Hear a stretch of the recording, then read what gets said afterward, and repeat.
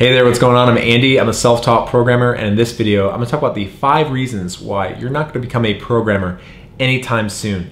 And they come from my experience of talking to a wide range of people, people who are aspiring developers, and seeing patterns of behavior of things that really hold people back. And my goal in this video is to really shine a light on some of the mistakes that you may be making so that you can overcome them and so you don't get stuck really trying to take years to figure this out and really take it down to a matter of months if possible. Now, if you're new here and you're wondering who I am, I'm Andy Sterkowitz. I'm a self-taught programmer, but I'm also a mentor and coach to everyday people who are aspiring developers. So I help them really get strategies to learn a skill set to a high degree, as well as figure out strategies for landing that first job. So if you're interested in content like that, I highly recommend hitting the subscribe button below, but also make sure to hit the bell icon to get notifications anytime I put out a new video. So with that being said, let's not waste any time here. Let's get right into it. So the first mistake that I see people make as far as getting into programming is they really treat this as a purely academic pursuit, meaning they think that because, you know, the whole term computer science is thrown around that if computer science is a science that you can just treat this like you know chemistry or biology or physics and if you just get all the books on those subjects that you can just go through them and you'll become a chemist or a biologist or something like that. And that'd be a nice comforting thing to think, but unfortunately programming doesn't quite work that way. Uh, learning about programming uh, through learning resources like tutorials or books, that's a really important start. But in order for you to become a, a programmer who can do something with those programming languages that you're gonna use, you have to get down to the nitty gritty of building projects, building things, and using those programming languages. So don't be the person who is gonna wait six months before you start building something. Like, to be totally honest with you, you don't have to wait even a couple weeks before you start. You can start coding within your first week. In other words, you can download a code editor and just start hammering away. So don't think you have to wait. Don't think you have to get everything in line. You have to learn every single concept before you can start. Start early, start often, get your hands dirty and use those learning resources to help you with the things that you're going to be doing, the projects you're going to be doing, and you're going to be uh, much better off. You aren't going to be held back for months. The second thing that I see really hold people back is perfectionism. And by the way, I'm a total, totally guilty of being a perfectionist, so it's okay. But the thing is, in software development, perfectionism can really hold you back. I see this a lot in people who are going to start building their portfolios. They think that their projects have to be perfect. Like they have to be to the nines. Like they have to rebuild, I always say like Airbnb or they have to rebuild Facebook or Twitter and they have to make it fully functional and they have to make the styling perfect. And unfortunately, the reason that that can be very detrimental to your progress is because I've seen a lot of people who will just build projects and they build what I call, you know, an MVP or what's called an MVP, meaning minimum viable product. They just build it, they get it completed to a pretty much, you know, the satisfactory degree and then they move on to a next project. And then you just keep building projects and keep finishing things. And that person is much more farther along than the person who thinks that like they have to have everything be perfect because that's the only way that you can be a programmer. So don't get stuck in this. The same thing comes to your study habits. Like, look, if you think you have to sit down and get like a four or five hour study session in each time and it has to be perfect and you have to make perfect progress, you're gonna really struggle because that's not reality the truth of the matter is is you're going to have study sessions where you feel like no progress is made. Sometimes you can only sit down for an hour because you just can't sit there and focus on uh, uh, figuring out like why your app isn't working for longer than that. So you have to get used to having these study sessions that aren't perfect where you're not making progress where things are just stuck because that's what life as a developer is. Sometimes you're just stuck and you can't figure things out. So really take back those uh, perfectionist tendencies as much as you can. It's going to help you make progress over feeling like everything has to be perfect. The next thing that I see that holds people back is just their fear, right? I started out talking about how people think this is an academic pursuit, more or less. Well, a lot of people who think that, they get this fear built up about building projects. So they get really comfortable in learning, right? They get very comfortable with these concepts. It's like a warm blanket, like, ah, new concept, epiphany here, epiphany there but they start to build a fear up of actually opening up a code editor and typing in code and building something because that's uncomfortable.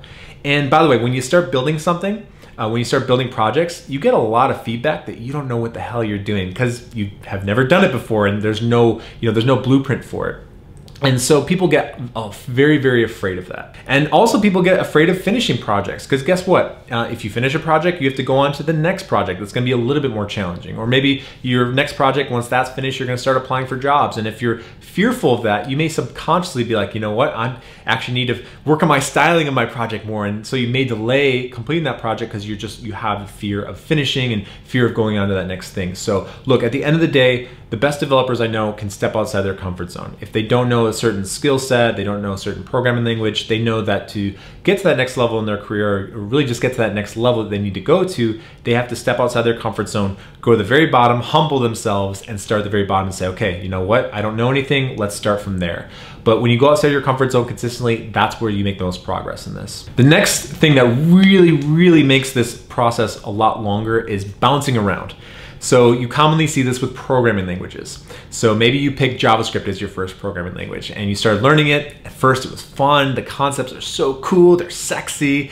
And by about week three, four, five, it starts to get boring and you just start seeing a lot of repetition. Maybe you start building a project, but it's just not as fun. Maybe you build a second project, but it's just not as fun as when you first started. Because you remember when you first started, everything was new and it was just so much fun. So all of a sudden you say, you know what, I'm just not having a lot of fun with this. Let's go to Python or C Sharp. And you just repeat that process over and over again. And that's not how you're going to learn to become a really strong developer. To become a strong developer, you need to learn the depth of the language and depth of programming in general, like really have strong fundamentals. And that doesn't come from bouncing around. You need to really sit down and focus when things get boring. Because look, to be honest with you, if you want to learn any skill set, if it's an athletic skill, if it's a programming skill, you have to, when things get boring, you have to really be the type of person who just persists right? Because it, like especially in sports, like to learn something like footwork in basketball, it's actually super boring. Like that's not the sexy part. The sexy part is like the crossovers, the the shooting, the cool moves. But the hard part is the the like endless just repetition of some of the fundamentals of like something like footwork. And so most people they just can't do it. They just can't sit there and when things get boring, they just can't like stick around and persist. But if you can be the type of person who can persist, in other words, you can sit there when things get boring with whatever programming language you're uh, learning or whatever you know skill that you're trying to learn, you're going to be the type of person who learns that to a very high degree. You'll stand out where other people don't, and that's the type of person who can get paid a lot of money or just get hired very quickly. So persist as long as you can. But here's the thing if you're going to decide to learn a different skill or a different programming language in this, that's totally fine. Make it a rational decision. Don't make it an emotional decision because you just feel like you're a little bit bored or you feel a little anxious that, you know, XYZ programming language is a new hot thing in the market. So persist as long as you can. Don't bounce around. Try to stick to one thing and learn a depth of knowledge. The last thing that I noticed that people just really struggle with is a job hunt. So a lot of people, like their job hunt strategy just sucks. Um, you have to think about this way. A lot of people are coming out of boot camps, uh, colleges, uh, a lot of self-taught developers out there, and if you're competing with all of them based on the tried and true, or the I should say the, the, traditional strategy of just getting that resume out there, maybe you have a personal website, but it's just kind of bland, the LinkedIn that's not really interesting. I think that that's just not really the road to success these days because everybody's doing it. And if everybody's doing it, then you're just competing with people who are coming out of school who have better credentials than you. I don't have great credentials, so I'm not going to compete with somebody who's coming out of a good school who has a computer science background. Instead, what I would prefer to compete with them on is making myself stand out from the crowd, making myself stand out in my online presence as somebody who's really passionate about this, who is clearly not just a weekend uh, you know tutorial watcher who built a, a, few projects and is like throwing something out there. Like when they see my online presence they should see somebody who is like you know borderline obsessed with programming who loves this who's looking to get this field who's positive and like I make it easy for them to access my projects. I make it easy for them to find out more about who I am through my personal website. My LinkedIn is different, it stands out. My resume is different, it stands out in some meaningful or small way. Again, the reason I do this is because I'm not competing with people on their level. Like my strength is not that I went to Harvard and I got a computer science degree. I don't play with people on their game. Like that's you know the equivalent of if I'm gonna play basketball and somebody's like a lot taller than me, I'm not gonna go to the hole every time because they're just gonna block me, right? Like that just doesn't make sense. I'd rather like focus on my strength and try to compete with them on my strengths, not on their terms. So you have to figure out how to stand out. Remember that recruiters are people, like people who are gonna hire you are human beings, and they wanna know who you are as a human. So they're not gonna hire a piece of paper, right? They're not just gonna look at a piece of paper and say, I'm gonna hire this person. They wanna see somebody who's interesting, who they wanna get to know more about. So always be thinking about that. Like really focus on the job hunt when it comes to that, and don't just do what everybody else is doing.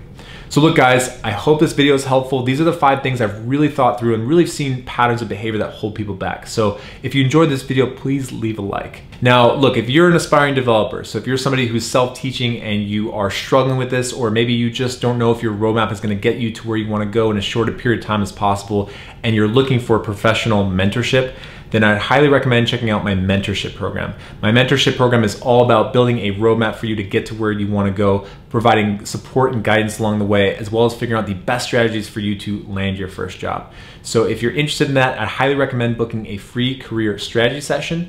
During that call, I'd really figure out what your biggest obstacles are right now, what you want to do as far as your aspirations and goals are. And then if my mentorship program is a good fit, I'm happy to tell you what that would look like. So if you want to book that call, check out the link in the description below and book that call. And we can go from there. Other than that, guys, thank you so much for watching. And as always,